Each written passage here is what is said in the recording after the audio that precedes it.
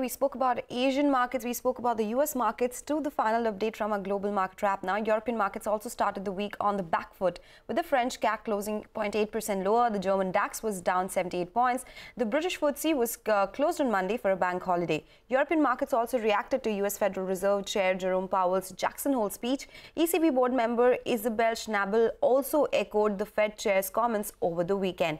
She reaffirmed the view that central banks must act aggressively to tackle rising inflation, even if it means dragging economies into a recession.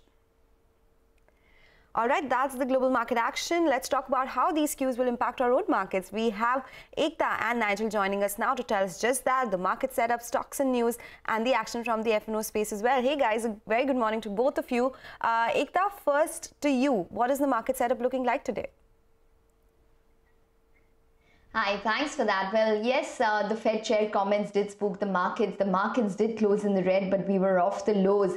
Uh, one disconcerting fact, and maybe we need to spot the trend here, is that the FIIs net sold over 560 odd crores in yesterday's trading session. The rupee also recovered from the day's low at over 80. It breached over 80 on an intraday basis, but it closed at around 79.96 versus a previous close of around 79.87. For this morning, yes, the US markets did see follow on selling, so the, they closed less than 1% lower. The US two year yield was at the highest that we've seen since 2007, and the dollar index is still hovering at those two decade peaks. European markets closed in the red. Asia largely mixed at this point in time. So let's see what uh, our markets trade as, whether or not there's any kind of uh, buying sustainably which comes through. Brent crude has risen to around $104 per barrel.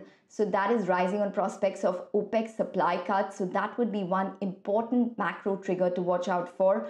Also, I'd watch out for any kind of follow on selling in IT stocks because they had slipped yesterday on US recession concerns. And considering that the US markets were lower today as well, uh, how the, the markets approach the IT stocks would be something that the street would probably watch, watch out for. Oh, yes, absolutely. And you spoke about IT stocks. What are the other stocks which will be in focus today, Ekta? Well, yes, uh, I'll be watching out for Reliance Industries because of the AGM takeaways. P&G Health will be reacting to its Q4 numbers.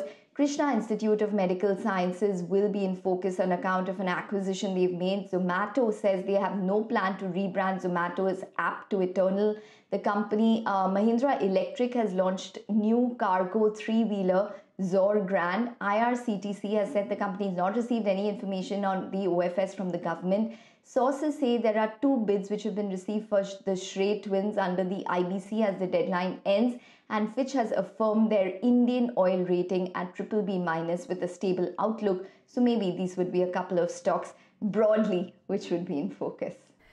Okay, all right, Ekta. Thank you so much for all those details. And let's go across to Nigel now, who's joining in with all the cues from the F&O space. Hey, Nigel. Well, morning. Uh, you know, first up on the institutional flows, the FIs, they sold close to on 500 crores odd. Now, the second half of August, it hasn't been so great. Remember, the first half of August, they were pumping in 1,500 to around 2,000 crores odd. So the FI outflow or the lack of the inflows, that's a bit of a worry. Yesterday, by the way, the institutions were net sellers.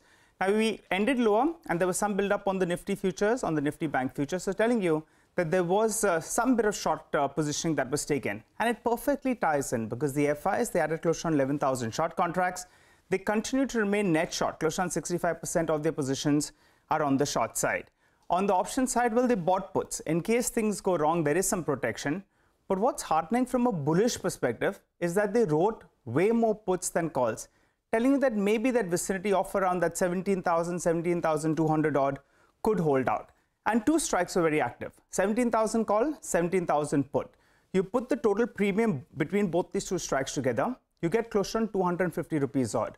So it appears that a short straddle is at play. What does that mean? You write the strike or you know the same strike on the call as well as put side pocket close on 250 rupees odd, and then you're pl playing for a broad range, which, you know, if you punch in 17,300 minus 250 and plus 250, you'll get a broad band 17,050 to around 17,550 odd.